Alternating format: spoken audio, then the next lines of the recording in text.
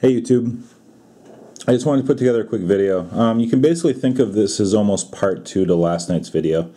Um, there was some a little bit of back and forth uh, with uh, Veritas Files and Rocky, and I'd, I'd, like to respond to both of those guys and understand, guy. Um, on a scale of one to ten, I respect those guys at an eleven. Okay, I mean no question about it, and that's why I, I just want to kind of respond to their comments. And let me say that I agree with both of them more than they realize. Okay, so we'll use that as the uh, the premise of the video. So one thing that cracks me up about silver is I think about it a lot like the uh, the 70 late 70s early 80s commercial the Miller Lite commercials with uh, Bubba Smith and uh, Dick Butkus used to watch those when I was a kid if I watched football uh, those are the commercials that were on all the time and the premise of the commercial, for all you young guys, you can um, just uh, type in uh, tastes great, less filling, and, and you'll, you'll see them. They're probably dated. And anyway, the point of the commercial was that one faction enjoyed uh, a beer, Miller Lite, because it tasted great. The other enjoyed it because it was less filling. And basically, they would argue back and forth, and uh, hilar- hilarity would ensue, and and they got really big and they ended up inviting a bunch of like basically every C level uh, celebrity uh, um, uh, uh, athlete or, or whatever would, would, be part of these commercials and, and they were pretty big. Um, what cracked me up and, and the premise of it was they love the same thing but for different reasons. Silver is a lot like that. you know, very used in industry. Isn't it funny how small this thing looks next to the kilo? Um, very used in industry and for different reasons, right? Some applications uh, utilize it, its reflectiveness. Some um, applications utilize its uh, conductivity. Others just for its appearance. A lot of different reasons, and it's the same with stackers. We stack for different reasons. I'll be completely honest with you guys. I stack for all of them. Okay, all the reasons I'm going to outline, I stack for all of them but a lot of you guys have a narrower approach. More than okay. Okay, um, the reason I put together yesterday's video was because a lot of people have been hurt by this recent downturn in the price of silver. Okay, they, they see their silver investment priced in dollars. A lot of us say, well, we just measure it in ounces. That's fine. A lot of people literally price it in dollars. and this downturn has hurt them. So, what I wanted to show them was there is, in fact, a strategy that you can use.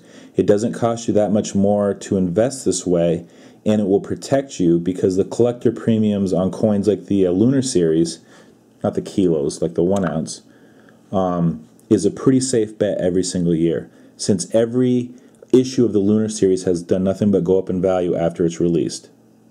Um, and so I was discussing as September nears and all of the uh, releases come out, I, I just kind of went into detail about how if you bought that, it's a pretty safe bet. And if you had been buying those right along, you wouldn't have felt this downturn as severely as you did. Well, Veritas Files said, no, look, I don't think about my stack in terms of dollars. I am uh, not trying to build wealth. I am trying to preserve my purchasing power for the future. I'm stacking for insurance. And I'm hoping that precious metals have some utility in the event of a dollar collapse so that I can get the things that I need for my family. Absolutely 100% agree with him. and that is a portion of why I stack as well. I love the insurance aspect of silver. Okay? Um, no question about it. It's a, it's a huge part of why a lot of people stack and, any kind of precious metals. But, you know, like I said, I also like the wealth building aspect. I like the forced saving, forced savings aspect of it. I like the bright future as far as industrial applications. You know, 20 years ago, we're using silver in ways that people never dreamed of 20 years ago. What are the next 20 years going to bring to utilize its unique properties and low price level? You know, as the uh, as the world's middle class, uh, as the world's um, as the world's biggest econ uh, not biggest economies, as the world's most populous countries, China and India, as their middle classes grow, and they start requiring all the things that come with the middle class that that require silver, that's going to be pretty good future industrial demand. I feel that's part of the thesis of why I stack. There's many reasons for why I stack.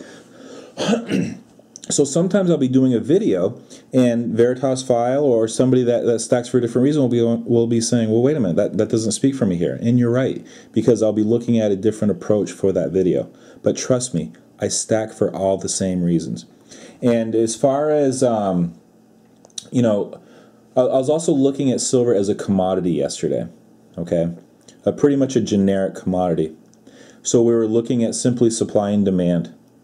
I know it's very easy to say, no, you know what, JP Morgan uh, it manipulates the price of silver, so that's really all that matters. And, and look, I'm not going to take that approach. I'm not going to say it's lazy, but you know what? Sometimes silver simply trades like a commodity. So the fact that we had 30 million extra ounces of silver come online last year for the supply, and we also had declines in the industrial usage, we had declines in silverware, in photography, in bullion sales, and uh, and then I blank. I, I can't remember the last ca- ca- photography. Um, we we lo- we had declines in all those categories. It matters, and the price of the silver was reflected in that. Now, is that a trend going forward? No. We already see that the uh, the bullion sales are at an all time record this year, and I can't wait for next year's report. But it's a data point that's worth looking at. That's why we went over it and a lot of people are kind of throwing their hands up and saying why. And I, and I just wanted to show that this is part of the reason why. Let's um you know as far going back to veritas files and i know he agrees with me on this. You know i hope that when he is 80 years old he is sitting in his rocking chair with his his son his grandson and maybe even great grandson and just saying you know reflecting back on this time and saying wow as a country, we really dodged a bullet. I thought it was going to be really bad, but luckily, it missed us. Who knew that you could, in fact, print your way to prosperity? Who knew that you could actually gut the middle class and still become prosperous as a nation? We actually a case study in how to be financially reckless and make promises to, to uh, generations that you couldn't pay and somehow thrive.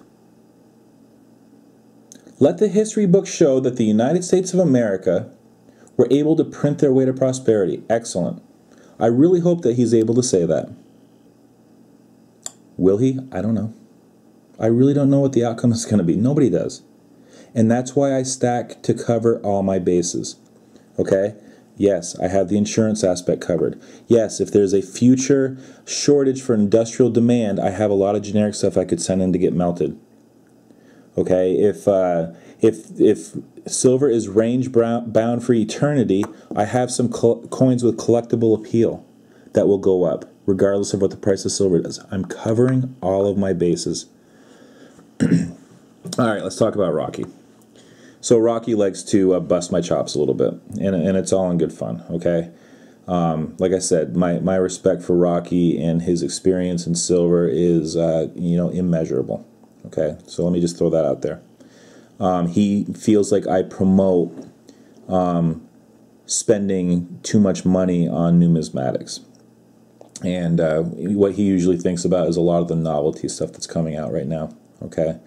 Um, you know, the example I used yesterday was the um, the shark coin that came out of New Zealand with the bite marks in it. Okay, very expensive.